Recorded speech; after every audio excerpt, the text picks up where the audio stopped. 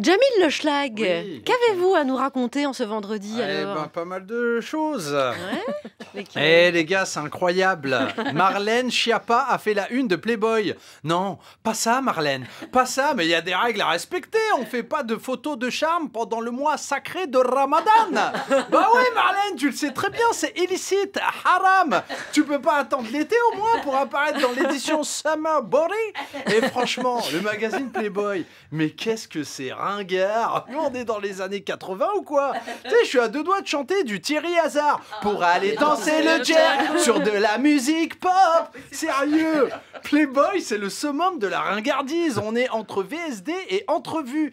Déjà, phonétiquement, le mot Playboy, c'est has-been. Exemple, salut, je m'appelle Ludo. Et on peut dire que je suis un véritable Playboy.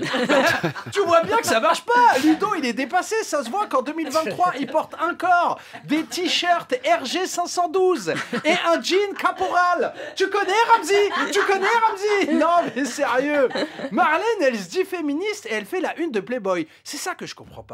Playboy, tu sens que c'est pas la ligne éditoriale de Cosette. Bah, on est loin de Mona Chollet. C'est comme si moi, en tant que Joroto, je faisais la une, tu sais, de valeur actuelle, mais de manière consentante, tu sais, en couverture comme As. Le grand remplacement on y est Alors, Bref Eh, Je comprends pas le plan de carrière de Marlène Schiappa. Elle, a, elle fait tout à l'envers. Tu sais, elle a commencé secrétaire d'État, puis ministre.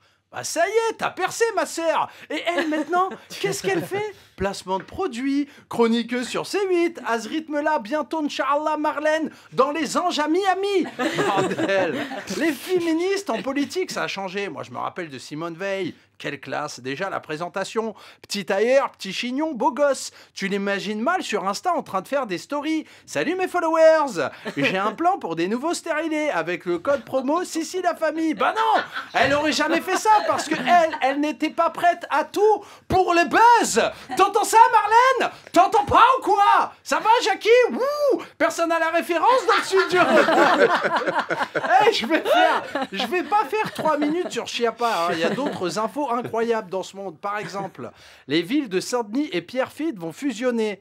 Je répète, les villes de Saint-Denis et Pierrefitte vont fusionner. Mais quel est leur projet? Ils cherchent à recréer la cité de Dieu? Ça va, Manu Lecoq? Toujours en guerre avec Zépequeño Non, mais c'est n'importe quoi. Mais fusionner avec Vincennes, Saint-Mandé, tu sais, pour créer un équilibre. Mais eux, tu sais, on dirait qu'ils veulent fonder la République indépendante de la Hesse. Par contre, s'il y a embrouille, c'est bien. hein. Bah, t'as les mecs des francs moins 1, de la cité rose sur tes côtes, même l'armée russe, ils bougent pas. Perso, euh, j'habite à Bobigny. Pour les concurrencer, on va peut-être jumeler avec la Courneuve. Tu sais, histoire de rehausser le niveau de jeu. Bah, il y aura de beaux derby. Bref, il se passe pas mal de trucs en ce moment. Grève, manif, retraite, playboy. Mais il faut pas oublier l'information principale. Je reprends mon spectacle à partir du 28 avril à l'Apollo Théâtre. Autant promo, autant promo.